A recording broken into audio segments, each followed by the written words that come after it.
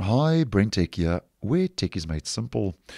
So, as I have been posting previously, Microsoft is working on a redesign of the Edge browser codenamed Phoenix, or also called Project Phoenix, which, according to Microsoft, is designed to differentiate uh, the Edge browser from other browsers, which brings a new user interface to match the look and feel of Windows 11. Now, just to let you know that I have noticed in my region overnight that some of these rounded corners and visual effects and um, design changes are now making their way into the stable version of Microsoft Edge for desktop, which is currently on version 114, where previously that was not the case. And if you wanted to enable any of the features for Project Phoenix in the stable version, as I have posted previously, we had to enable a whole bunch of experimental flags. And I'll, I'll, actually leave that video down below in the description if you'd like to go check that out.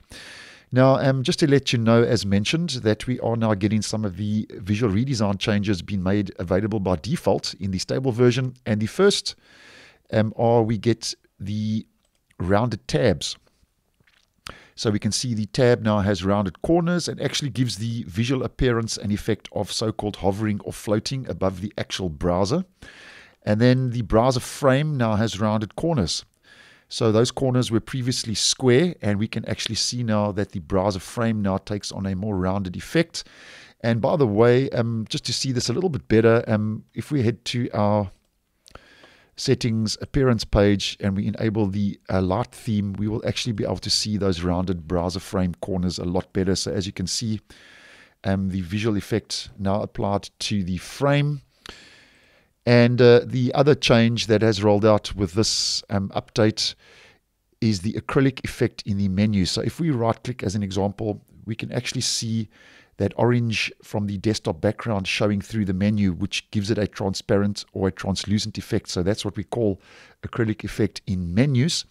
And uh, these changes for Project Phoenix now rolling out to the stable version seem to be rolling out using a controlled server side update.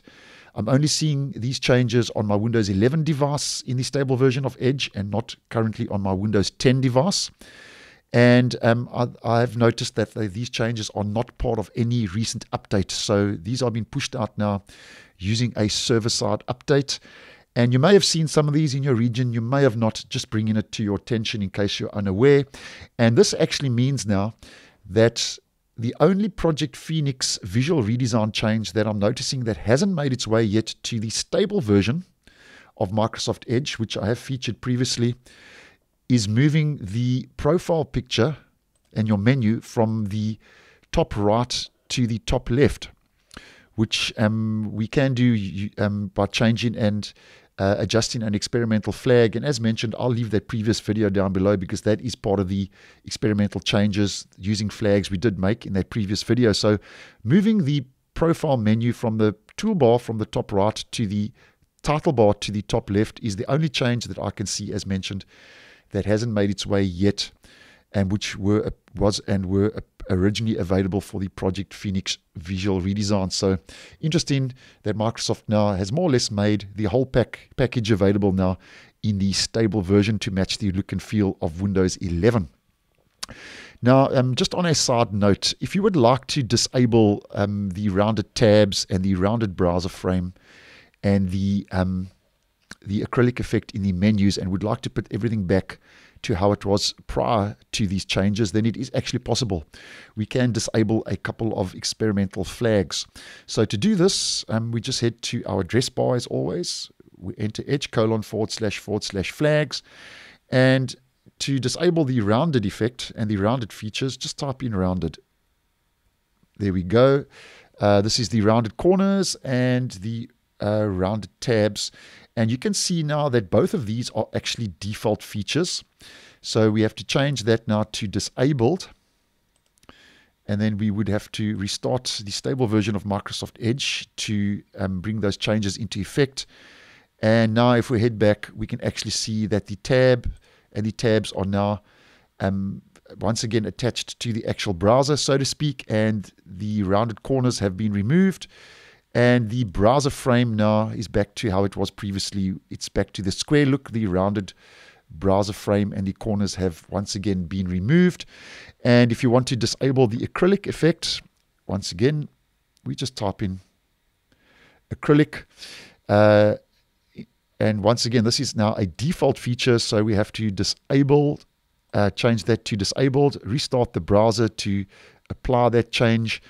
And now if we head back, we can actually see now that that has once again become a solid menu and there is no transparency effect now available in the actual menus. So um, that's how you can actually disable those um, rounded corners and the acrylic effect by disabling those experimental flags. And just to let you know that um, flags are not options, they are experiments, as I have mentioned previously. So, so currently, these flags are available but Microsoft may remove these flags at any given time to be able to disable the Project Phoenix visual redesign changes mentioned today in this video. So just take note of that. And if you do want to put everything back to normal, we just go to all of these flags and we just put them back now to default. And we can then restore everything back to the default appearance settings, which are now part and parcel of the Project Phoenix visual redesign. So there we go. Just changing those flags back to default has brought all the changes back once again to the tabs, the browser frame, and the actual acrylic effect in those menus. And another recent change, which I did post on, which was part of Project Phoenix, was the split screen. And I'll actually leave a link to that video down below. And um, in the end screen of uh, this actual video, I will leave the playlist for Project Phoenix, so you can go check that out more in depth if you would be interested to the user interface visual redesign changes now that Microsoft is bringing and has been testing, and which are now rolling out to the stable version of um, Microsoft Edge, and I'll leave that playlist in the end screen. So just letting you know, Project Phoenix becoming more widely available now uh, in the stable version of Edge for desktop. So thanks for watching, and I will see you in the next one.